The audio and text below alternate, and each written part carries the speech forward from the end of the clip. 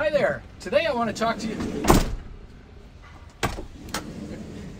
I want to talk to you about how to keep the door open when you're not parked on a flat level surface.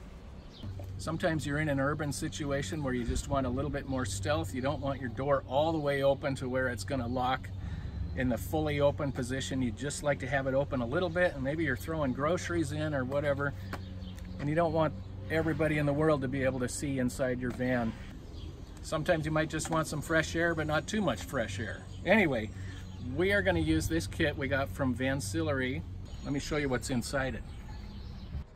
Included with this kit, there's a welcome card with a nice little note on the back and a link to the installation instructions. There is epoxy, JB Weld. This is hardener and resin. There is a popsicle stick used to mix that epoxy with. A rubber glove to keep the epoxy off your hands. Some alcohol cleanup wipes. A small Scotch-Brite pad. This is used to scuff up the area where this is going to stick. And then of course there's the star of our show, the roller stopper. In addition to all of this stuff, you're going to need a Sharpie to mark the location where you want to place this thing. A piece of cardboard or something like this to mix the epoxy on. And a few paper towels for cleanup. So that's it. Let's get to it. So the first thing we want to do here is figure out where exactly along this track we want the door to stop. In our case, we have a, a countertop here and we kind of want the door right there, right even with it. So that's what we're gonna do. And so then we come back over here and using a Sharpie, we're gonna mark the location of this roller on the roller track. And we wanna mark the center of that roller. Just like that. And then four inches behind that, we're gonna put another mark on top of this track, right at the center point where that roller rolls on there. That's so that we know where to position the little roller stopper from side to side so that we make sure it's right on the center of that roller.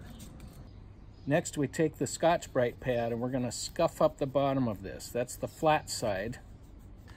And then we'll take the Scotch-Brite pad again and we're gonna clean this up a bit. This is where the epoxy is gonna stick this thing down. And we want it good and clean so the epoxy sticks really well. And now that that's been scuffed up, we'll take one of these alcohol wipes and first wipe the bottom of the roller stopper and then wipe this track right where we scuffed it to again make sure this is very clean. So now we're ready to mix the epoxy and stick this thing down. You want to make sure when you do this step that you've got 24 hours that you can leave this thing without running that door over that roller. You need to let it sit and set completely for 24 hours. That for us is the most difficult part of this whole operation.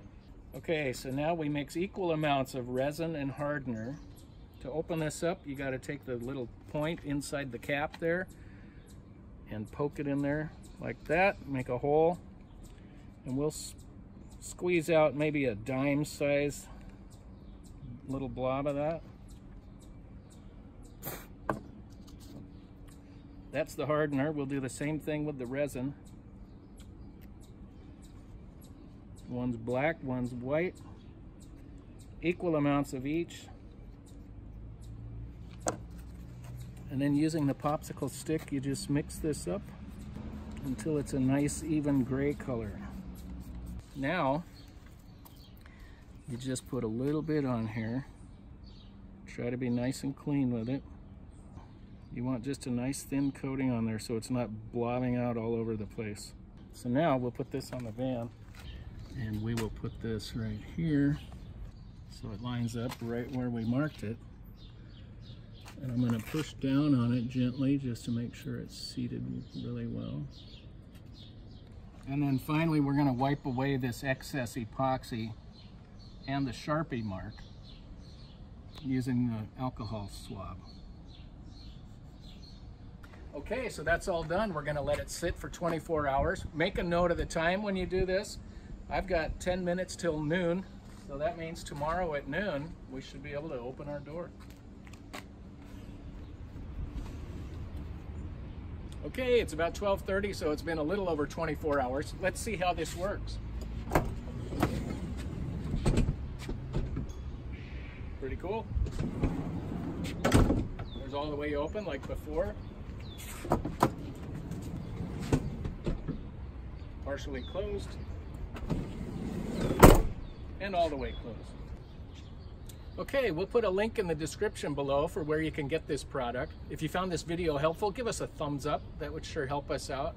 And consider subscribing if you'd like to see more like this in the future. Till next time, thanks so much.